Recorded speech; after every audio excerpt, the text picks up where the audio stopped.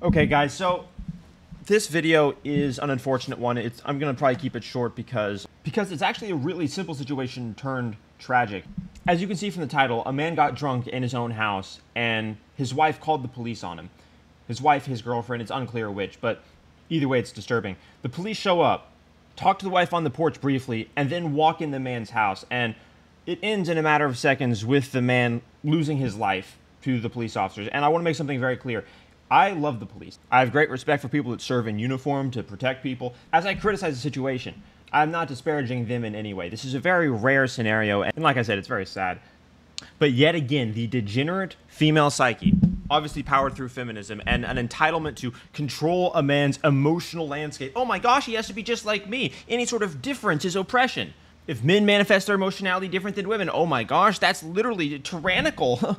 Patriarchy. You have to watch out for women like this because they will call the police if you say the wrong thing to them in a moment of weakness in your own house. What? What's going on? I uh, had way too much to drink, and Okay. I don't really This woman is waiting on the porch for police to get there to at her husband's house. I'm just gonna I'm gonna assume that she's his wife. It's even worse if she's his girlfriend because then his girlfriend got like it's it's terrible. I uh, had way too much to drink, and Okay. I don't really quite understand what he's upset about. Notice her first thing she says to the police, which would be your primary concern. The police show up. You're going to immediately tell them the first thing that's the problem. The first thing she says to the officer is, I'm not sure what he's upset about. Meaning her concern is that he's upset, not that he physically hit her, because he didn't, and that'll be proven. Not that he even threatened her, as she's about to admit. It's that he's upset with her. Guys, it gets, it gets way worse. Um, But it's a little bit out of control. It's a little bit out of control.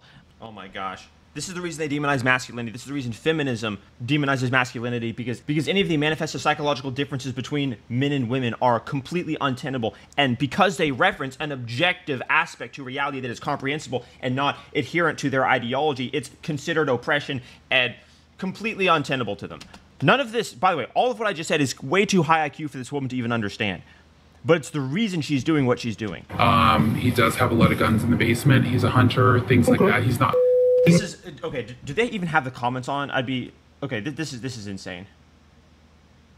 Yeah. Okay. Good. The comments. The comments are based. The comments are based. Oh my gosh. Okay. So the first thing she said was that I'm not sure why he's upset. The second thing is he has a lot of guns in his basement.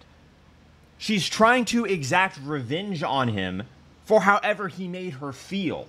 Oh my gosh, yeah, he made me feel this way. He, I didn't like it when he yelled at me in his own house, and, and so now, yeah, you got to go inside. I called the police for this. Does have a lot of guns in the basement. He's a hunter, things like that. He's not me specifically, Right. but I am not able to reach him. Okay. I don't really understand what's happening. Not able to reach him. She's standing on the front porch. She was obviously inside before. They had some sort of argument. She left to call the police. He's not publicly intoxicated. He's not at a bar. He's on his own property in his own house getting drunk. Is it a crime to get drunk in your own house? Guys, this is why it's so important to choose your wife carefully. She cannot be possessed by feminism or her resentment for your nature. Her resentment for how she's noticeably different than you will play out. And when that happens, because women have no way to objectively interface with reality, they will seek only retribution. Because that's the only thing that a degenerate female psyche understands. That's also the reason why men built the world and not women.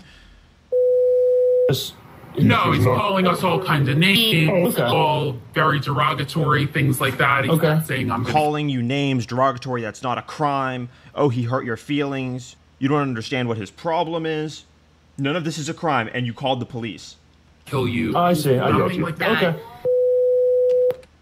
Things like that. He's Okay. not saying I'm gonna kill you. I see. I got you. like he's that. not saying that okay so she's trying to cover her bases because she knows that something could happen here Okay. she created the situation No, Okay. no, but What's his name? Vincent. Vincent? Yeah. Okay. Yeah. All right. You just want to hang out here with my partner? oh this is so weird I do absolutely. My dog is very sweet. She's big. She's not. Oh, I'm good with dogs. I love dogs. Hey, come here, Charlie. Where is he right now? He's uh, probably in the basement. If you want, I can lead you through. It's not uh, like a bad situation. I got you. Yeah. Whoa, whoa, whoa, whoa, whoa! For all of the degeneracy that is the woman's fault. She's the one who created the situation. She brought the police to their house while her husband was in um, a mind altered state, which he's allowed to do, by the way, all over her feelings being hurt and, quote, not knowing what type of emotional problems going on, and immediately telling the officers he has guns in the basement. Oh, haha, that's an innocent detail. I want to make something super clear. I would not choose to do this. Even though there have been countless cases of police officers coming into somebody's house, getting shot, and then that being thrown out in court because they entered the house without a warrant. But unfortunately, this guy's not even going to have his day in court because his wife called the police because he hurt her feelings. He drank three too many beers and hurt his wife's feelings, and now he's not around anymore. You can debate whether what he did was legal or not legal. I would not have done what he did, but those are the facts. His wife called the police to exact retribution on her husband for using, quote, derogatory and offensive language. Do the fucking gun!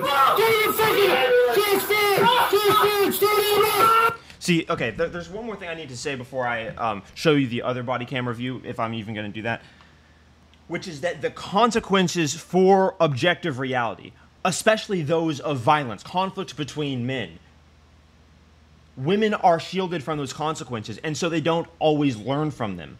For this woman's degeneracy, he paid the price, and she did not pay the price. She called the police on her drunk husband who had guns in the basement because he hurt her feelings, and now he's dead.